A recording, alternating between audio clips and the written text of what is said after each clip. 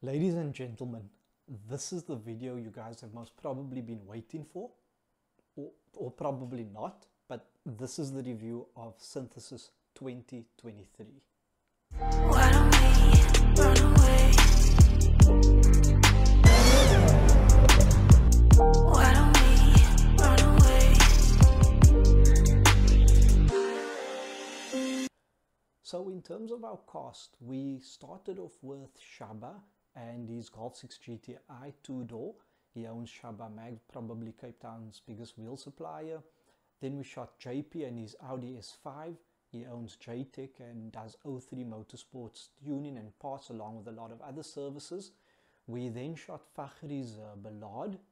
We shot uh, Zane's S2000. We did Hazim's uh, Honda Accord. We did, we also did Nadir's BMW E30 325i.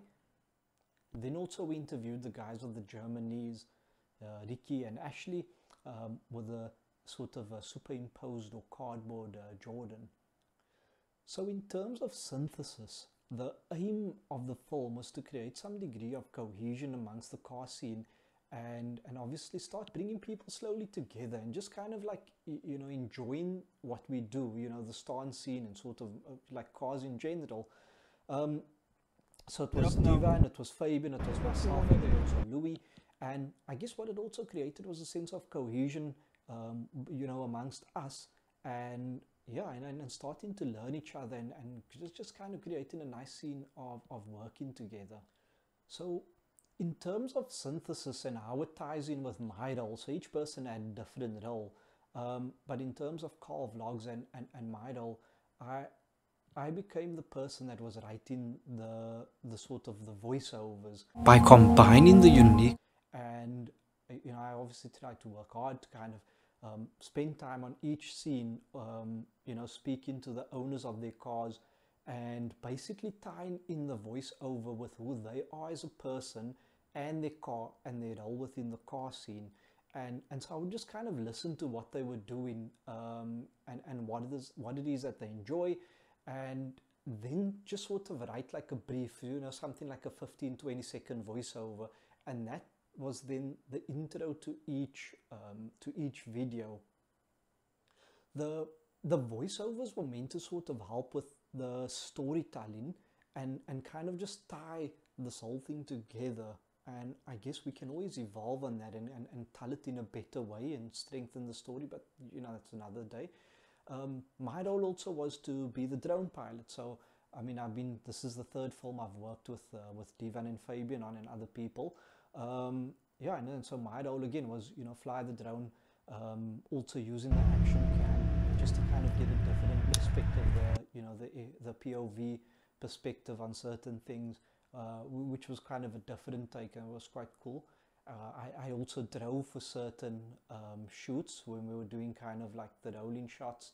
Um, but I think the nice thing is each person was given a role, uh, but also to be able to contribute to the film. It wasn't just, you know, one person says, do this, do this. Each person was gi given some degree of creative license and then you could just kind of like make your suggestions. And I think, you know, with my third installment, I, I've been able to to contribute a little bit more.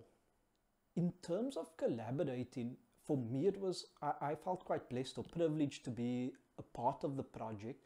Um, I, I'm still a growing channel. I still have a lot to learn about videography and vlogging and video editing. So it was a really good opportunity for me to learn how to improve my skills, uh, um, but also kind of, you know, having a really important role in just being able to give.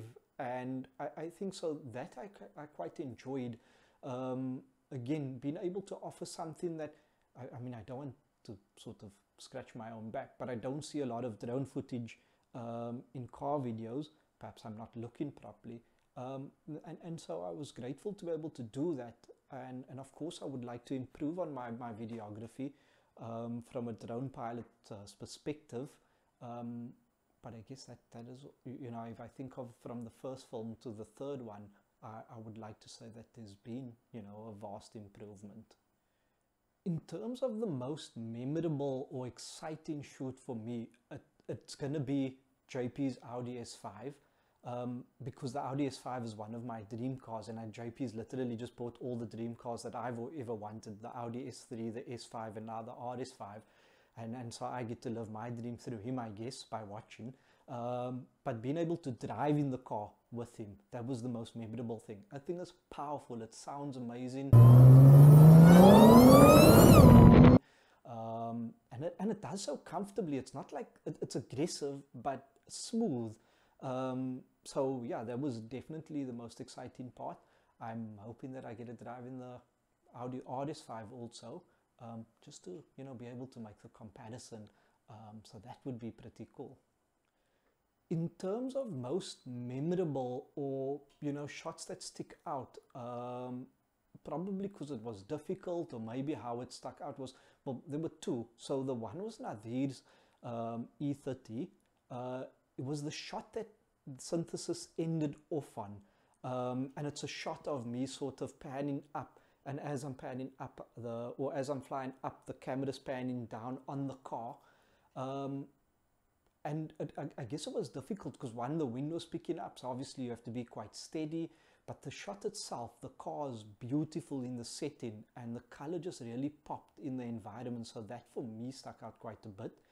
And then secondly was probably when we shot Shaba's um, his GTI, there was a, a, period where Shaba was coming down the road and well from like the distance and I was standing um, on so, sort of down the road and he was driving towards us and I was flying the drone down the road um, and what was happening it I was basically flying above traffic to avoid hitting a car but I also needed to avoid hitting the trees above so to be able to fly sort of in this two meter gap, which doesn't, it's probably smaller than two meters, it doesn't sound that dangerous, but when you have a drone that one, you know, moves around quite a bit in the, in the wind and you're trying to keep it straight with the road and you try not to hit everything, um, you know, that was quite exciting um, because again, you know, the skill that that one took.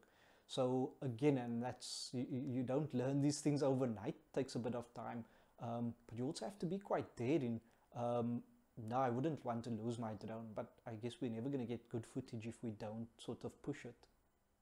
The funniest moment, funny, I don't know, call it that, was this moment I was flying um, with Zane's S2000. I was flying on the beach and I was uh, I was flying the drone across the beach just to get some sort of more cinematic or scenic views and there was about three, four hundred seagulls chasing the drone and I was zooming across the beach and basically the seagulls were going from one side to the other side while I was doing this um, and I caught it on camera. I, I, obviously didn't catch all of the birds on camera but I caught uh, you know a fair amount of them chasing me and I thought yeah, like you know let me land this thing because obviously you don't want to harm um, the birds. It looked really funny though um, but of course you know you need to be quite careful. So in terms of what I disliked the most and I guess it's sort of I feel quite ambivalent about it is that or it's ironic also in its own sense is that um, the one day it was storming badly in Cape Town. And I said to Divan there's not a chance we can shoot because one we can't get drone shots you're not going to get one with your camera. And Divan insisted he was like we're shooting we're shooting in the rain. And I was like how the hell are we going to shoot in the rain? So anyway reluctantly I went through to town and it was pouring. It was bad, bad. And what was actually cool was that the shoot turned out to be really cool. The rolling shots, uh, like it looked really, really nice on camera. Um, yeah, it looked super. And then also managed to get some nice drone shots. But also just, there was just something special because um, I also had, I haven't seen Hazim for, what, 16 years. Um, so it was good to see him. Um, it, the the backdrop and the, the, the scenery of that shot just it, I think it just came out really well. So I'm glad Divan insisted although on the day I was very miserable um, because of the weather conditions. So in terms of the most scenic shot um, I think it's going to be the one I shot of Zane's S2000 and it's kind of like you know well you'll see is as I'm sort of pulling out um, away from the car you catch kind of the mountain. Now, if people know me well, they know I like hiking, they know I love the mountains, I love the sunrises and sunsets and taking pictures of the mountain. So for me, that one resonated quite a bit. Um, and, and so I enjoyed that shot. Um, yeah, it just looked really super. So what can we improve? Um, well, without giving away too much, I think that's a discussion we definitely we're gonna have. We, we still haven't done a debrief, but we we've we've planned it. We've just been busy, um, but we're gonna have a sit down and kind of just close that chapter, reflect on it, and and and of course one can improve on skills, um, and and and that we'll discuss. But I think one of the things I would like to improve on that I can share is to kind of strengthen the storyline, and I think that would make it quite exciting.